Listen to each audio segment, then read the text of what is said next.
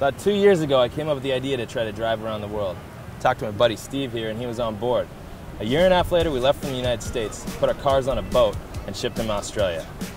We drove from Australia here to Bali. And now we're in Indonesia. It's hard to believe we've made it this far.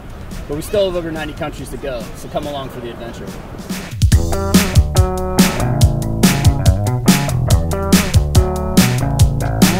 We got our supplies hatchets, shovels, jerry cans, saws, tubing, batteries, the works, so that we can go drive on some serious roads in the outback and around the world. It's from the late 90s. Yeah, it would have been uh, 2000 much. Okay. Seven years old. But it was airplane fuel. Yeah. Yeah.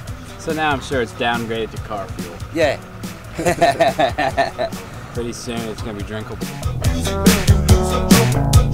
We just found a campsite, I guess. This is the Billabong. Oh, great. This is where the, the crocs hang out.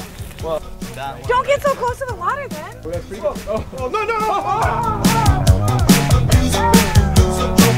Team, teamwork, ingenuity, and you mix those two together and you have success.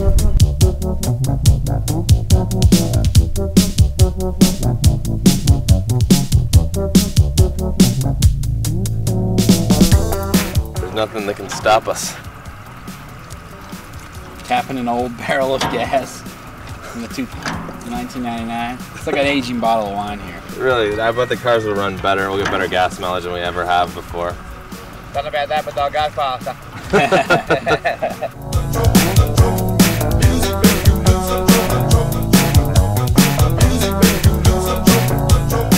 think you just hit a kangaroo. Oh man, that's not good.